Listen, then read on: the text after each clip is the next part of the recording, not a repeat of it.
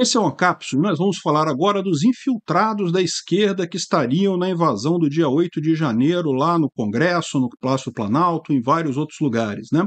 É aquilo que eu falei para vocês. Se tivessem realmente infiltrados, se tiver pessoa da esquerda ali, vai acabar aparecendo, porque eles vão ter que investigar aquilo ali, vão investigar todo mundo que estava lá. Né? E a questão é: parece que apareceram alguns mesmo. Agora, o que acontece nessa história que eu vou mostrar para vocês é que isso não muda muita coisa, não. Porque no final das contas era um número bem pequeno se você comparar com a quantidade de gente que participou dessa ação. Né? Essa notícia foi sugerida por Faz o L, Senta e Roda, Eu Prefiro Ricardo Albuquerque e várias outras pessoas. Obrigado aí ao pessoal que sugeriu a notícia. Obrigado a você que está assistindo o nosso vídeo. Se você gosta do nosso conteúdo, por favor, deixe o seu like e se inscreva aqui no canal. Né?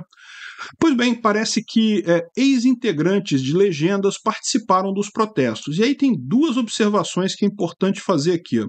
Eles estão fazendo aqui, ó, olha só, é, Elisiane Lúcia Harmes, de Foz do Iguaçu, é filiada ao PT desde setembro de 2009, Marina Camila Guedes, de Barueri, desde 2015, e Elza Pereira da Silva, ligada há 22 anos ao PPS, né, ao Cidadania. E, bem, Olha só, o que, que, acontece nesse caso? Duas coisas. Primeiro que a gente está falando de, de, coisas em 2009 e 2015. E a outra, mais tempo ainda, né? 2001, 2001, né? Para estar 22 anos, né? Ou seja, é, as pessoas podem ter se filiado a esses partidos no passado e não ter mais nenhuma ligação com o partido. Não sei se vocês sabem como é que funciona isso de filiação, mas você se filia a um partido e, em princípio, isso não muda em nada na sua vida. Né? Não, não quer dizer que elas sejam militantes desses partidos. E repara, a gente está falando de três pessoas apenas.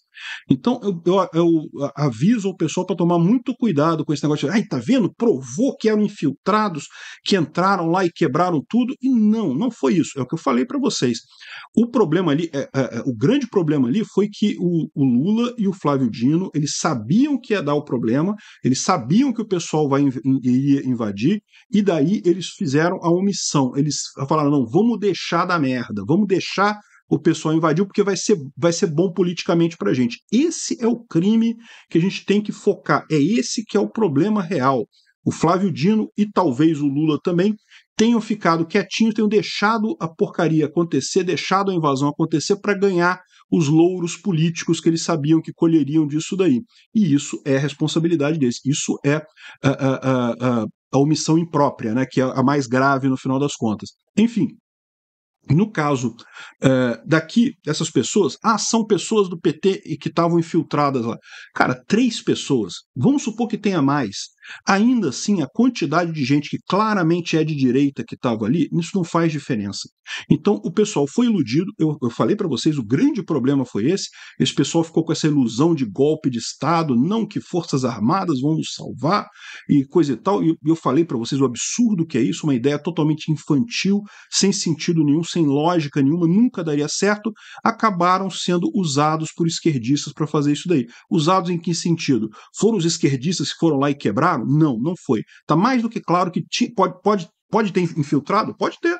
Não duvido, não. Não estou dizendo que não tenha, não. Mas muita gente que não era infiltrado, muita gente da direita acabou entrando e se animando na hora e se empolgando com a coisa e acabou quebrando coisas ali. Isso é o que eu acho que aconteceu. E no final das contas, é, esses três pessoas de filiadas a partido, primeiro que isso não quer dizer nada, é muito coisa, é, é, filiação de muito tempo atrás, provavelmente não tem significado nenhum. E mesmo que tenha um número muito pequeno para fazer diferença no final das contas. Então, eu, eu, de novo, eu ressalto a coisa importante. Muita gente acha que não. a gente tem que brigar contra o Lula, a gente tem que brigar a favor de Bolsonaro, então não interessa se é verdade, se é mentira, a gente tem que, que ir na narrativa da, do momento, a narrativa da hora que foi, foi infiltrado. Então, eram os infiltrados que foram lá e quebrado tudo, não sei o que. Cuidado com isso. Não embarquem em narrativas furadas. Isso piora a situação, isso piora a sua situação, piora a situação da direita, piora a situação de todo mundo. Parem de embarcar em, em, em narrativa furada. A coisa da urna eletrônica, mesma coisa. O pessoal todo mundo não tem que criticar a urna, porque cadê o código fonte, não sei o que lá, como se isso fosse a solução de todos os problemas. Não, não, não embarquem em narrativa furada. Busquem a coisa correta, busquem o ângulo correto de fazer fazer o ataque. Qual que é o problema do dia 8 de janeiro? O problema do dia 8 de janeiro é que tudo indica que o Flávio Dino sabia que ia dar merda, sabia que eles iam tentar invadir, que iam quebrar, e propositalmente deixou da merda, não chamou reforço, não uh, fez força para terem uh, seguranças a mais ali, não fez nada para impedir que isso acontecesse, como era dever dele. Era dever dele, era dever da Câmara e era dever do, do STF também proteger os seus respectivos prédios. Né?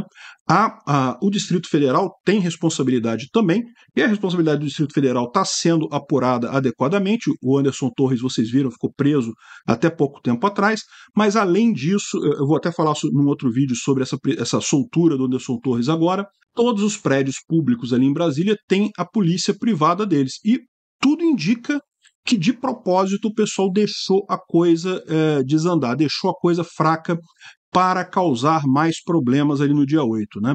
Esse é que é o problema, esse é que é o foco que você tem que ter. O pessoal que atacou os prédios públicos não tem como defender esse pessoal. Eles, o que eles fizeram foi absurdo, fora de qualquer parâmetro, não ajuda em nada. Quem recorre à violência perde. Esquece disso, não tem jeito.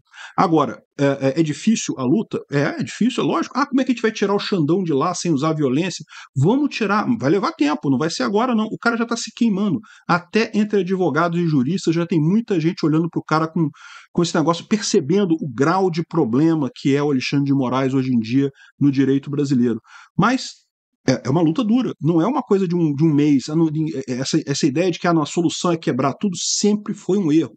Isso nunca é a solução. Violência não resolve nada, só piora a situação.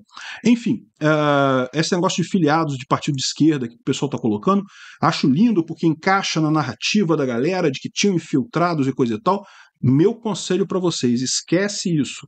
Se tinha infiltrado, pode até ser que tivesse um ou outro, não fez diferença. No final das contas, teve muita gente de direita que quebrou coisa lá, que, que, que fez besteira. O grande ponto dessa história, o que tem que ser avaliado na CPMI no dia 8 de janeiro, é a omissão do Flávio Dino.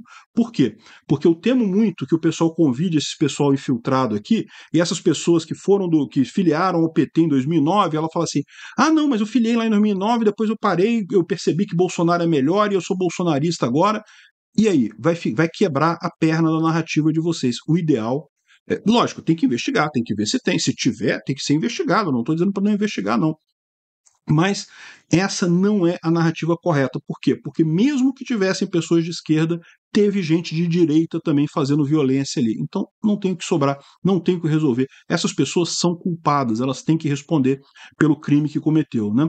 É, enfim, uh, tem outro lado disso, que é que está sendo uh, o, o, processo judicial contra essas pessoas está absurdo realmente, está sendo está cheio de ilegalidades ali, mas de qualquer forma que elas têm que responder pelo crime que cometeu, tem que responder sim, né?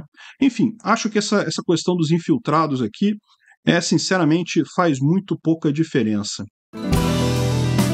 Obrigado por assistir o vídeo até o final. Além de curtir, compartilhar e se inscrever no canal, considere se tornar patrocinador com valores a partir de R$ 1,99. Clique no botão Seja Membro abaixo para saber as condições e vantagens de patrocinar o canal. Mais informações sobre o nosso projeto, visite nossos sites indicados na tela.